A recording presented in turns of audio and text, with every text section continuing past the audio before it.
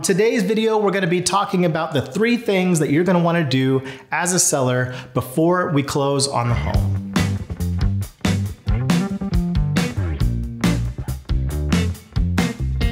Hey guys, it's Jason Yeager with Greater Nixa Homes. Thanks for, again for uh, joining the YouTube channel. If you haven't subscribed already, be sure to click that subscribe button and give us a like before we get started. I appreciate it.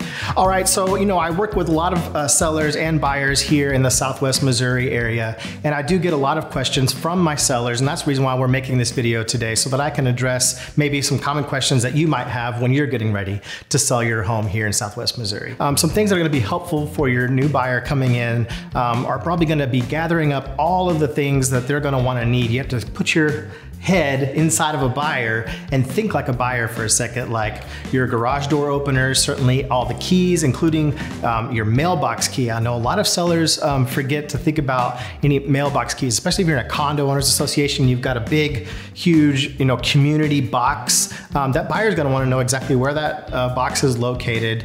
Um, so maybe putting some simple directions for them on things that they're gonna need to know about your security systems, um, landscaping and irrigation, how those things turn on and off uh, surround sound systems. That can be uh, very confusing for buyers. So anything that's going to be helpful for them so that they have a smooth transition to that house and so they're not having to call your agent or you uh, directly um, to ask all these questions after close. Just leave it all in, the, in a counter, nice and neat for them um, right before um, we head to closing.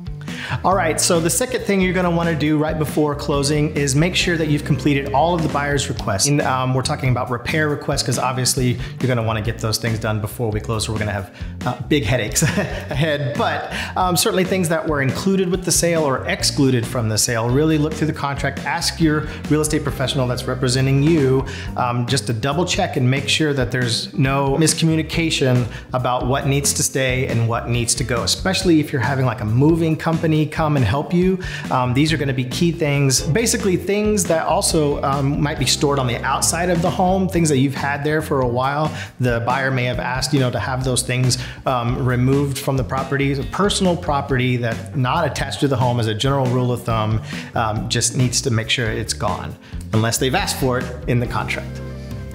All right, and so the last thing that you're gonna wanna make sure you do before we sell that home uh, to the buyers is gonna be um, making sure that it's clean.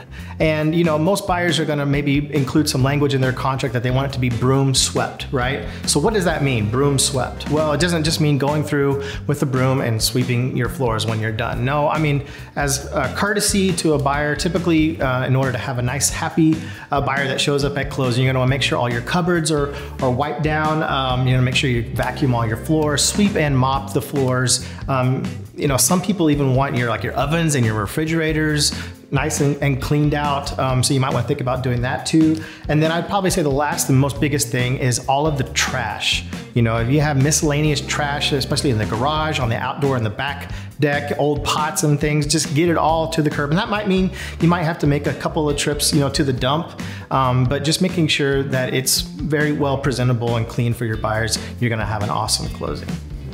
All right, so that's about it. Uh, just in review, the top three things that you're gonna wanna do are probably gonna be gather up all those materials, important documents, instructions for your buyer. Two, you're gonna wanna complete all of the buyer's requests um, that they've asked for in the contract, make sure those are done. And then three, keep it clean uh, and you're gonna have an awesome closing. I hope this was helpful for you guys. I just wanna make sure that I'm getting out some good video uh, educational uh, content for you guys to help you win on the sell side. All right, have a great day and thanks for watching you guys. I'm Jason Yeager with Greater Nixa Homes and I will see you in the next video.